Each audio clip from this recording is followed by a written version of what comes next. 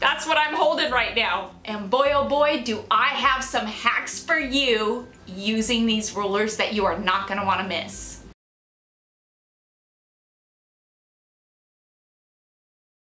I can't wait to show you the hacks that I have in store for you using wood rulers. So I'm gonna quit my gabbing, let's jump into it, and let's do some DIY hacking on a budget. DIY hacking? Is that a thing, DIY hacking? I just kind of made that up right now. Let's get to it. Who is today's KB Creations Crafter of the Day? You'll want to stick around to the end of the video to see if it's your creation that's being featured in today's video. There are a couple different places you can get wood rulers. One place being the 99 cent store. If you have a 99 cent store in your area, you're gonna get four of these rulers for a dollar, which I think is a great buy. The 99 cent rulers have holes in them. One side's got two holes, the other side has one. We need the side of the ruler that has one hole to have two. So I'm gonna place another ruler on top with the side of the ruler that has the two holes so that way I can get the holes in the same spot on each ruler. Each ruler needs to have the exact amount of holes, if that makes any sense, on both ends of the ruler. I'm always looking for a good excuse to use my new power tools, and well, this DIY calls for it. Take in a drill bit I don't know what size drill bit this is. I really just picked one that was close enough in size to the existing holes on the rulers. I'm gonna drill a hole where I placed the dot, the dot that I traced with the ruler on top of it. And I'm gonna do this to six of the wood rulers. Now these wood rulers are not a great quality wood. I wanna say that they are probably the lowest grade pine that you can get so if you have some splinters, you are gonna wanna take some sandpaper and smooth out those holes. Again, you should have two holes on each end of the ruler, of all six rulers. I don't want these rulers to look new. Oh no, no! I want them to look aged and distressed. And so to achieve that look, I'm gonna go with some of Minwax's Early American Stain this may be my new favorite color stain. It's one that I have in my stash, so it is gonna work perfect for this DIY. Well, for all seven of these DIYs. These hooks here, well, you can find them at Dollar Tree. You're gonna need three packs of them, which is six hooks. You're also gonna need some of these screws and bolts. This is a 10 pack that you can get at Walmart for 97 cents. Now, this is the size here that I got.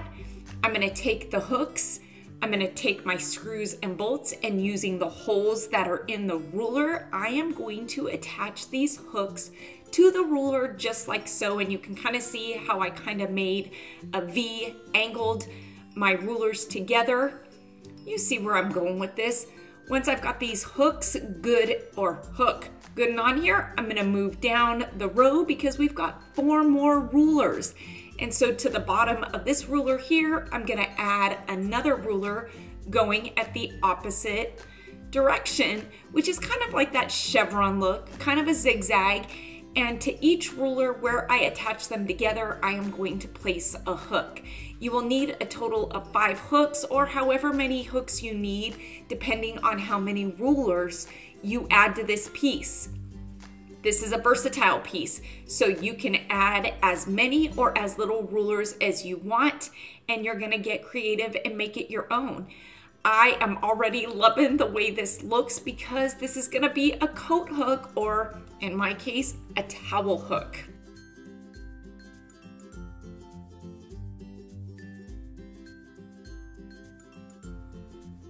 Oh my word, I absolutely love this piece. It is so budget friendly with an outcome that is so rustic, I can hardly stand it.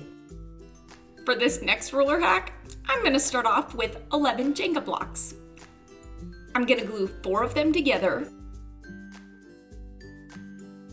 Then I'm gonna frame these four blocks with more Jenga blocks. Only these blocks will be standing up.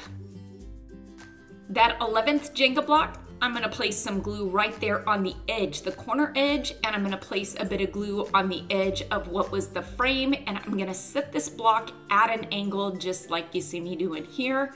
This is a ruler hack, Kelly, so when do the rulers come in? Right now.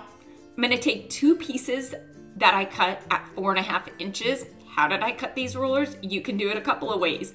I used my miter saw. Dollar Tree's got a couple of hand saws that will saw right through this. Creative on the cheap, she's pretty genius. She uses some miter cutters that look amazing, not gonna lie. Have some on order on Amazon coming today, which I can't wait to use. I'm gonna glue one of the four and a half inch piece rulers, one of the four and a half one of the ruler pieces that measures out at four and a half inches on the front. And this here is the back. When I place this second one, I'm gonna place it at the halfway mark of the ruler because I want the back side of this piece to be higher, elevated than the front part. So that way when you hold it up, you can see the back of that ruler nicely. And what is this? Yes, this is a business card holder. How cute is that? Oh my word, I love this piece. This would make such a fun teacher appreciation gift to give, especially after you put a little bit of that early American stain on it. How fun is that? Easy, quick, and budget friendly.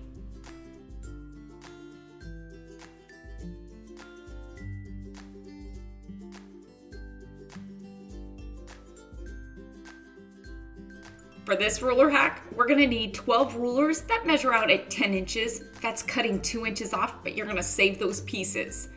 I'm gonna take four of the 12 and I'm gonna glue two of them together just simply using some jumbo popsicle sticks. Taking four of those two inch pieces, I'm gonna glue two of them together, or two sets of two together, using, again, popsicle sticks. And the glue that I'm using is a wood glue by Super Glue. This glue is amazing. You can find this in the tools section of Dollar Tree, not the craft section, and I highly recommend it. Once I've got my four pieces glued together, I'm gonna take the two inch pieces and right along that edge there, I'm gonna place just a bit of the glue. Be careful when placing this. You don't wanna put too much glue on it because when placing the glue, if you're gonna stain wood, if the glue gets on the wood, even if you sand it, it tends not to absorb the wood very easily. And so, yeah, it's best just to, less is more in this case. And this is what you wanna be left with when you glue your pieces together. What am I making? I'm making a tissue holder out of wood rulers. Oh my word, wait until you see how rustic and amazing this looks. Now we have a total of eight 10 inch rulers left. We're gonna take four of them and glue them together just like you see me doing here. Again, using the popsicle sticks. When you place the popsicle sticks, you wanna place them about an inch in from each edge of the ruler because we're gonna add some Jenga blocks to this here in a second to actually put our tissue box together. And so like I said, you're gonna do two sets of four with the last eight 10 inch rulers that we have. When placing the Jenga blocks, you wanna place two on the sides here and you wanna make them as even with the edges of the ruler as you can get them because this is just going to help ensure when we put our tissue box together that it fits together nicely. And so with the four rulers, you should be able to fit two on each side, and then I'm gonna place three there in the center in between the popsicle sticks. And I'm gonna do that to both sets of, I guess, the four rulers that were glued together. And like they say, a picture is worth a thousand words. This is what you should be left with. Two pieces that look like this, and this is gonna be the long side of the, I guess, rectangular tissue box holders. Now you're also going to need to cut eight pieces that measure out at four and a half to five inches, depending on what size box you wanna use. I went with a five inch um, measurement and I'm gonna, again, glue four of those rulers together, just like you see me here, and you're gonna need two sets of four glued together. I wanna take a quick second to say if you are new to my channel, thank you so much for stopping by. Welcome to my channel. Stick around a while by clicking that red button for more crafting on a budget, more everything on a budget videos to come. And if you click it again when the bell appears, well, YouTube should notify you every time I upload a new video, depending on the option that you choose. Yes, in the drop down menu of the bell. And if you are interested in following me on social media, you can find those links, you guessed it, in the description box below.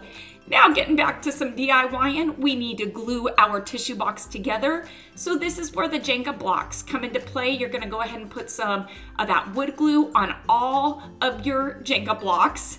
And yeah, it's easier said than done here for a second. I had had a bit too much caffeine, but once you get it all lined up and put together, it's going to fit together nicely. Once I did put the top on, I wanted to add just a bit of weight to this piece to really ensure that it stayed together good and tight. And so I went ahead and put one of my craft boxes right on top, set this aside for about an hour just to really let that crazy glue wood glue dry. And with that, after about an hour and a half, I was left with this. Look at this. It's a nice sturdy tissue box holder made out of wood rulers. How rustic and fun is that? Again, this would make for the perfect gift for a teacher or for anybody. Really, this is gonna be in my craft room. But it definitely needs some of that early American stain. Would you look at how gorgeous this is? I don't know why I never noticed this color stain until a few months ago. With the name Early American, why did I not pick it up before? This is such a rustic aged brown. I love it. And so yes, this is gonna get a good coating of that. And there we have it. I love this piece. Next up, I'm gonna be using one of these square pen holders from Dollar Tree and using some of that handy wood glue, I'm gonna go ahead and place a bit on the side here. I took my rulers, cut them into three and a half inch pieces, and I wanna say I did 12 three and a half inch pieces. Using this square uh, pen holder, you can perfectly place three of the rulers on the side and it fits perfectly and you will be left with this fun piece. Again, here it is without the stain, putting some of those number two pencils in it. Such a cute DIY, easy to do, a great gift to give a teacher or anybody for that matter. But when you add that early American stain, oh my word, it just takes it over the top. Gives it that nice rustic age burnt look. This wood ruler hack is amazing and has such a rustic outcome. You're gonna take your rulers, however many you need, it's gonna be different for everybody, and you're just gonna cut them in half at the six inch mark. On the back side here, I have a couple of dots. These dots line up with the holes in my cabinets and the drawers where the handles were. So everybody's is gonna be different. Taking some of Dollar Tree's wood cubes and more of that fun wood glue, I'm gonna place these wood cubes onto where the dots are. Now I do suggest using a high quality glue like this wood glue by Krazy Glue because it really adheres nicely onto whatever surface it is you're adhering it onto. So in this case, I'm adhering the wood cubes onto the wood rulers and that is just what we need. I'm gonna put those wood cubes on each of the six inch rulers that I cut. And I did show four here, but I ended up only doing two or three, I think, for video purposes only. And to give these more of a rustic feel, these two shall get a nice coating of that early American stain. Now, I will tell you that not all of these hacks are hacks that I am keeping in my home and using. I'm bringing you these hacks because I have an idea, I like them, and maybe somebody somewhere will get use out of them and like them. And so with this handle hack, I am going to put it on my cabinets and show you how they look just so you have the idea. But all in all, this stain color did not go well with, I wanna say I have kind of a maple oak color to my cabinets. And so this color didn't work well. I didn't wanna buy a darker stain just for these handles. And so I was just using what I had in my stash and that I was using for every other DIY. I feel like if somebody's gonna use these, Minwax has so many amazing stain colors to choose from. You're gonna choose one that goes well with your decor style that you like, that's gonna stand out and probably work a bit better with your cabinets than this color actually worked with mine. And there you have it, such a fun rustic piece. And like I said, these would have been gorgeous had I used a darker stain but all in all, I think that these are fun rustic handles that could be added to any drawer or cabinet. This is another fun hack. Again, you're gonna take that 12 inch ruler, you're gonna cut it in half at the six inch mark, and you're gonna need five pieces for this. Using that wood glue by Super Glue, I'm gonna go ahead and glue these pieces together just like I'm doing here. I'm not even gonna try and explain what I'm doing. If you choose to do this DIY, it's one that you're just gonna have to follow along with me and kind of do and pause as I go to get the outcome that I have. What am I making? I'm making a wood rustic ruler, a wood ruler, wood ruler rustic star. Now, you gotta wait because it is gonna get finished when we add just a bit of that early American stain to this to rustic it up a bit. Yep, I know it may seem repetitive and that's because it is. Look at what a difference a little of that early American makes. Now taking some brads. These are a brad that you can get at Dollar Tree. They've got them in gold at Dollar Tree. If you need to rustic them up a bit, just put a bit of paint on them or stain and it'll work. You're gonna wanna cut off the metal tabs and using just a bit of hot glue, if you put some hot glue on each of those points and put the brad right over the hot glue, would you look at how cool that is? Now, what is this piece for? I don't know. Maybe it's just something you wanna put on a shelf just to add to your rustic decor. So to stand my cool rustic star up, I'm gonna dig into my stash of Dollar Tree's wood cubes and I'm just gonna hot glue them onto the bottom points here, in turn giving me a cool rustic star that's standing up. A standing up rustic star? Sure, you know what I mean. Let's take a look.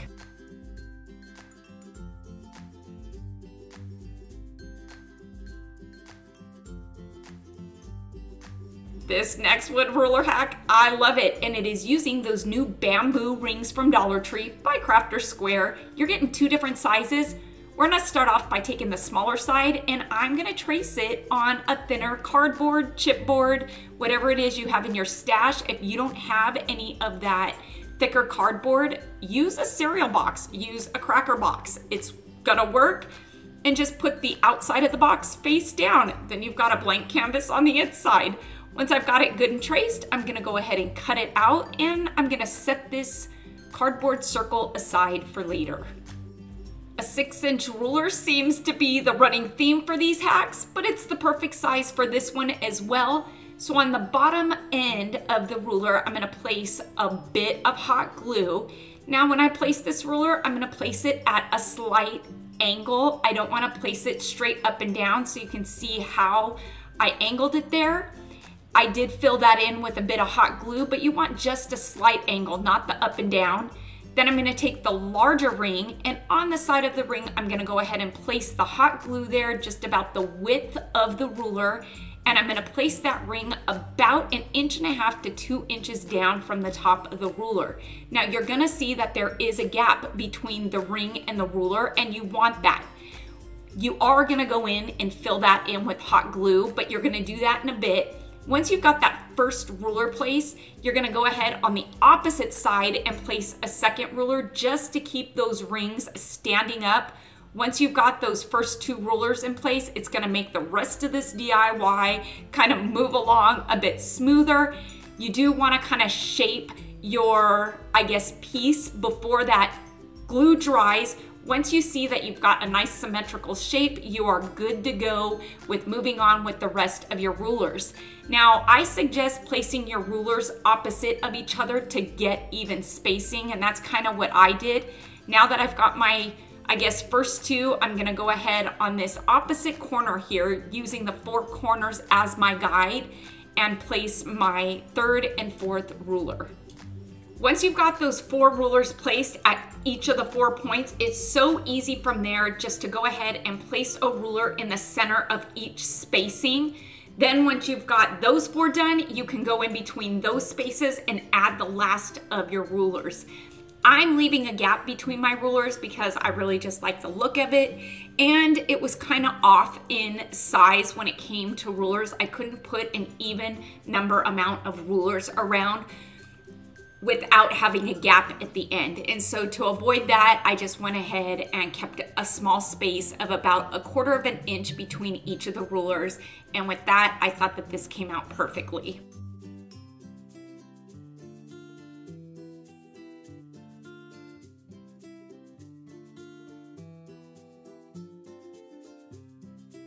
I'm gonna go in with my glue gun on that smaller ring there on the edge, I'm gonna place a fair amount of hot glue and this is going to be what is going to hold our cardboard disc. Yeah, a round cardboard disc, the bottom of our ruler planter, our decorative ruler planter. Now with this, I'm not gonna put anything heavy in it, but I did wanna close up the bottom areas, but I didn't wanna fill it completely with moss because that is gonna take a lot of moss and I didn't wanna spend a ton of money on moss. I dug into my stash. After cleaning my garage, I found some of these moss sheets that I have. I have in fact seen them since at Dollar Tree. I'm gonna cut down my moss sheet because I don't want it standing above my pot and I'm just gonna place it along the sides inside of my pot. My ruler pot, my ruler planter. And then I'm gonna take these amazing new colored daisies that Dollar Tree has. Tell me you have not seen the amazing colors that they now have. I'm a little bit obsessed with these. Okay, really, a lot obsessed with them. These purplish pink ones are just gorgeous mixed in with the white, and I thought that it would be the perfect touch of color to go with that early American stain. Let's go take a look.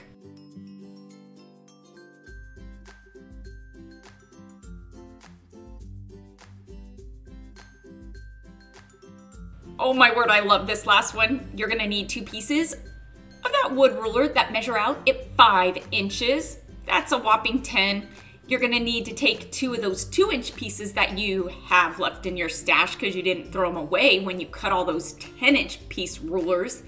We're gonna place just a bit of hot glue on the ends here of those two inch pieces and we're gonna place those two inch pieces right there in between the five inch pieces. And just for an added measure to really keep these pieces good and together, I'm gonna go in with those jumbo popsicle sticks just to reinforce and really keep these pieces, did I say, together? Yes. Yep, very repetitious, but I tell you, when you find a stain color you really like, you just gotta kind of stick with it. So these two shall get that early American, in case you didn't know what color I was using. Love, love, love the way these look. Something about that stain with these wood rulers, because it's a low quality wood, when you stain it, it comes out in so many different tones. So I couldn't have asked for it to be aged and distressed any better. Now taking that scrap piece of cardboard that I used for my planter, I'm gonna go ahead and cut a piece that's just a bit smaller than my ruler frames. Yes, these are ruler frames, and that is what I am making or using them for. This is such a fun piece that you could add pictures to. You could add school pictures to, any kind of pictures, decorative pictures that you print up off of Google of sunflowers or any flower. If you wanted to add these to a bathroom or a kitchen. I wanted to use these for Allie's school pictures. I thought that this would be such a fun way to display her school pictures. And so with that, adding this cardboard to the back just by hot gluing it on three sides of the cardboard so that way I can slide a picture in and out of it. I have then made an adorable rustic wooden ruler frame. I almost forgot what I was gonna say, but because I wanna hang these on my gallery wall, I am gonna add just a bit of twine to the back as well. I made these rustic ruler frames to fit the wallet size school pictures. I know so many of us probably order school pictures and you always have a ton of the wallets left. And so I thought that these would be perfect and I could put more on my wall without using as much space versus using maybe the 4x6, 5x7, 8x10. But you could very easily make those size frames and have the same great outcome for your child's school picture.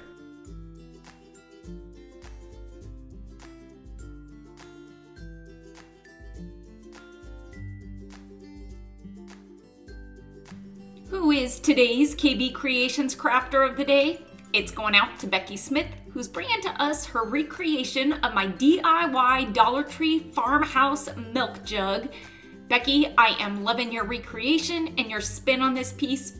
Thank you so much for sharing your creation with us today. I hope you all enjoyed these DIY ruler hacks. Please make sure to give this video a big thumbs up and let's get this video to 5,000 likes. Because like I always say, each and every one of your thumbs up and those comments that you do leave down below, well, they really do help my channel to grow and it helps YouTube to notice me just a bit more. Until next time, everybody, I hope you have a fantastic day. Happy crafting on a budget. Stay happy, stay safe, stay healthy, but most of all, stay positive, please, because I am. Bye for now, everybody.